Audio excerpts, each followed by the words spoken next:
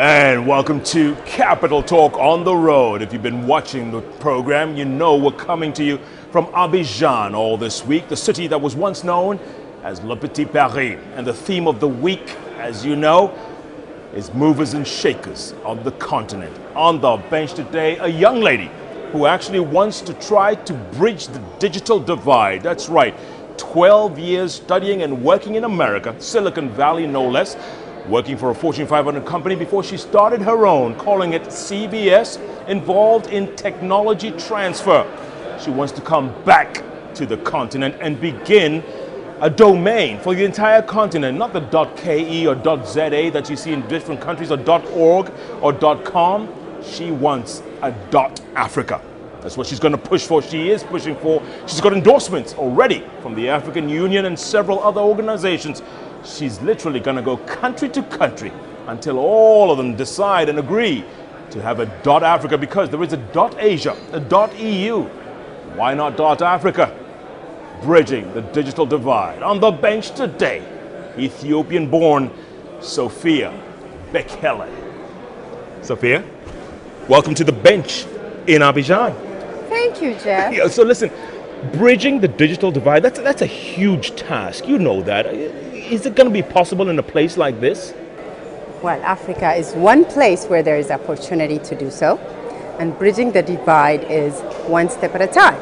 It is not, Rome was not built in one day, so we're going to do it one step at a time. But unlike Asia, Africa is 53, 54 countries, and getting a .dot .com domain for the continent, is that doable or is that just, is that wishful thinking? No, it can't be wishful thinking. All, the more countries, the better. The, unit, the unity for all countries can be expressed in one domain. One billion people, 54 countries, including the diaspora, being the 54, and um, one domain. That's the ambition of Dots Connect Africa which is going to be the host organization for the Dot Africa domain. Which you started yourself? Yes, I was part of the founder, uh, and I had the vision of it because I was working in an organization that actually issues the license, coordinates the, um, the internet, techni- uh, the technical coordination of the internet. It's based out of California. It's called ICANN, I-C-A-N-N. Mm-hmm. And uh, so I was a policy advisor. Few years back, I was elected and I came, I came up with that idea. Of course, the initiative was thought of before, but I managed to push it through the organization and bring it to Africa. I was uh, elected as an, uh, one of the uh, African advisors. Actually, I was the first one on the policy advisor. I was a woman as well, in a sense.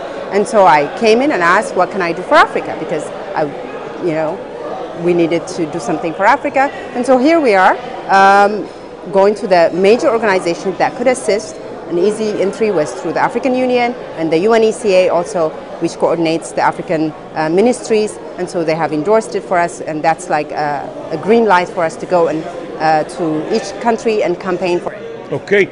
I'm going to come back to that in a moment. So if you take us back, obviously you studied IT. This was your specialty, and, and you ended up in Silicon Valley. Take us back. Okay, take you back from Ethiopia. Went to study for my higher education.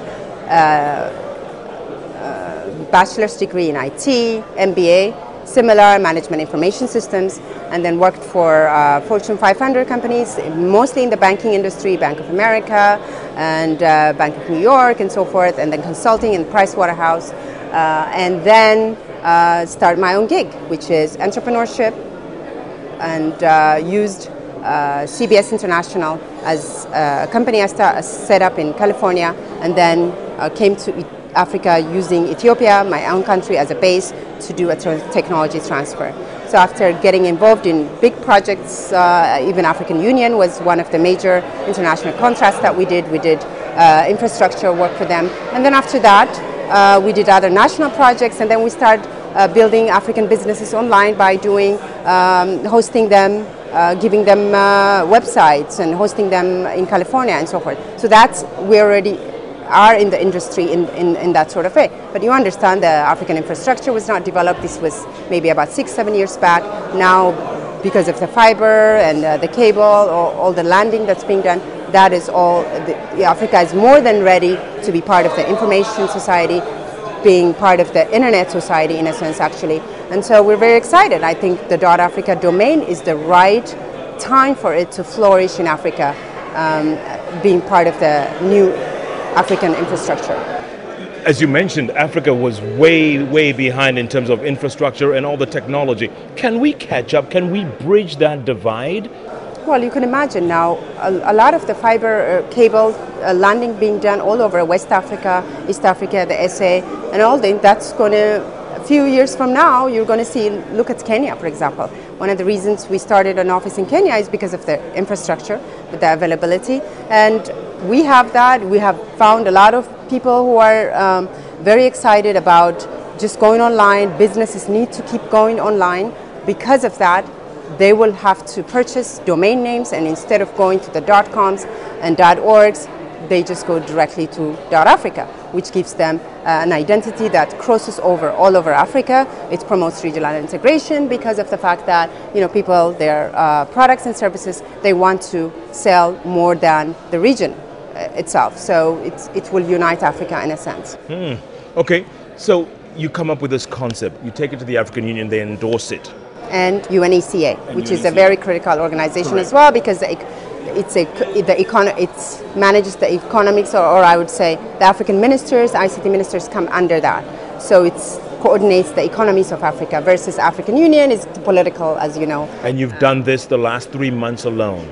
Yes, since, since uh, no, the endorsement came in before, but uh, the whole uh, hype and the whole uh, bringing the whole continent together happened in the last maybe five six months. What what happens next? What's the next what move? happens the next move is to actually uh, go around african continent lobby for uh, support uh, actually doesn't even require uh, lobbying. Uh, people are very excited. They take the continent name very seriously. We've been asked by actually non-Africans, like when we say dot, they want to shorten the dot Africa name to what they're used to, like the dot KE or ZA, but we, most Africans actually feel dot Africa should not be cut. They're very national, pan-African about it. And so we're still, uh, we're, we keep the Dot Africa name for now, but we do consultations with the various governments, with the various ICT ministries, and then get their support, buy-in, and then once we do that, we apply for the license with the ICANN, with the international organization that gives out the license, which has delayed it so far as a result of the space, the top level domain space is being liberalized after 10 years of monopoly by the dot .coms and .net, now they're liberalizing it, so it's going to allow not only dot .africa, but it's going to allow like the dot .food, dot .bank, dot .travel, and so forth to do the same. So, but they are commercial entities, but we are more of geo names. So in that sense, um, uh, unfortunately, we had fallen under the you know, the application process for everyone. For example, .eu and .asia directly applied with the organization a few years back when there is no procedure in place. Now that there's procedure in place, we fall on that, so we have to follow procedure. That's the only thing of the delay for the licensing. So now once we apply, then it's a go-ahead. We launch it immediately, and we hope what we have already spent an, a year or two popularizing in Africa, people will be able to be aware of the benefits be aware, sensitized to it, and then obviously they would uh, purchase. That's what we think. All things being equal, when would that be? Uh, we look at this next year, ne- next year, mid-year. Okay, and yeah. you know, Sophia, doing business in Africa is so difficult. I mean, you, you, you probably know that already. Yes. Ready for this challenge? Yes, very much so. Because if we as diasporans don't participate and assist the continent, who will?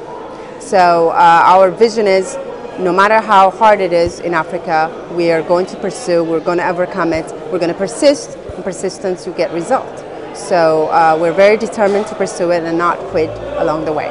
Were you surprised that all this time there's .asia, there's .eu, and Africa hasn't bothered to get on this dot continent thing? Yes, yes, because when I was uh, again uh, uh elected an ICANN, one of the first thing I said is what's I'm an African policy advisor, supposedly, so what is there to do for Africa? So there was not really an African agenda, and uh, I had asked even uh, there were Africans there, like us, um, uh, you know, pushing for things, this and that, and there were other internet initiatives that were launched as a result, which I have to give credit to, but Dot Africa was remaining uh, unattended to. So I, you know, I said, why not Dot Africa? And so uh, people came around it and uh, we launched it. Mostly the assistant I got was really from the diaspora group. However, to bring it to the continent, um, it took me shuttling back and forth for a long time and then finally uh, we got it up and running. In terms of endorsements, at least we're very excited.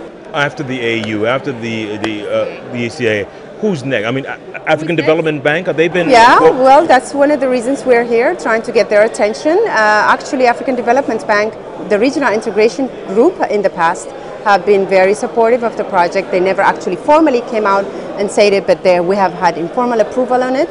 So now we're trying to take it to the leadership level where um, they would give it uh, the full stamp like we got from the other two uh, partner institutions for Africa. So we hope with the governance model that we've built for the Dot Africa, which is a non-profit and then outsourcing the registry, uh, we hope that these major sponsors, the three organizations would be part of the board of trustees to oversight the policy, the public policy aspect of the domain name. Because domain names uh, they're not just a branding or categorization of, uh, uh, of entities in a sense.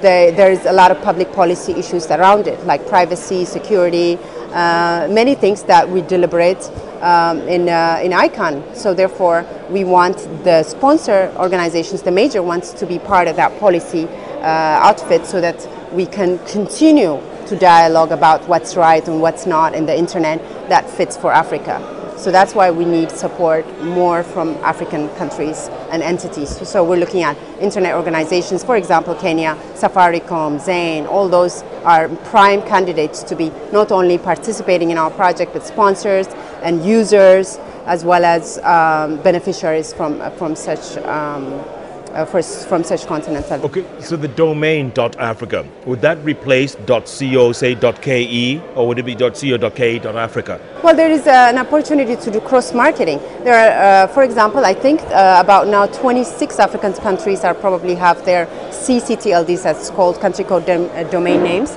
And uh, so but it's not well developed in Africa. It was only maybe in the last three years that an organization came together, a non-profit, that tried to build capacity within these uh, national entities. Now, our Dot Africa, we don't want to appear like we're dominating the market. Not only that, we want to help the national CCTLD. So we've created a second level domain name where that uh, like .co .africa could be manageable if people wanted to do that but you know there is a, a, cost associated with it because they have to purchase dots um, uh, KE and then, and then dot Africa as well. So it's up to you to determine what you want to be. Just go directly to Africa or just use the second level domain names. But there's an opportunity for us to actually to do a cross marketing for, for that. Sophia, I want to talk more about that because that's fascinating and also you know, it's, it, Africa's a big challenge. You know, it's a huge continent, big challenge. But obviously, you know, so far you seem to be up to the challenge. Uh, can we bridge that divide? I keep saying that. Are we going to be able to bridge that divide? But first, let's take a break. Sophia Bekele, good grief! Are you sitting back? Young lady wants to bridge that digital divide, and she's doing it one country at a time. She says it's possible. In fact, she says it's about time. There's plenty more coming up after the break with Africa's movers and shakers. Don't even think of going away. Capital Talk is back in a moment.